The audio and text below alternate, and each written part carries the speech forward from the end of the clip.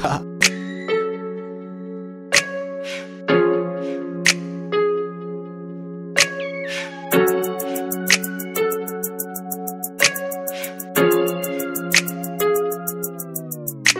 मेरे को मालूम मेरी ज़िंदगी है आटे जो भी खाने वाले आटे, उनको देता मैं चमाटे छाटे। और सुन के जा रहे छाटे। सर शब में बसता फिर भी समझ नहीं पाते। हाँ समझ नहीं पाते तो क्यों ऐसा गाते? और ऊपर से आके मैं कुछ ना सिखाते। भाव ये, भाव तेज, इसकी उसकी चाटे। तीन सौ दो खेलते रहो, एक दिन इसमें जाते। क्यों माँ से करते, बातें जो नहीं पूरा कर पाते। माँ के लिए कुछ नहीं और आइटम के हाथ काटे। बिफ करते, मुझसे और तुम बड़े गाने खाते। किसने बोला थे को हमसे जुम्मे के दिन नाते यहाँ बात लाके बातें बड़े जगह फैलाते। समझ गया, सब कुछ तुम क्या बोलना चाहते? नाम के बने हो सब मतलब की बातें। मतलब के लिए आते और मिलकर मुझको जाते। हाँ मेरे घर वाले सोचते मुझे कुछ भी ना आता। सिफेड़ चाले लंबे कपड़े घर से निकल जाता। मेरे अम्मी सोचते में जाके आइटम घुमाता। मेरे अब्बा सोचते के मैं जाके भी मली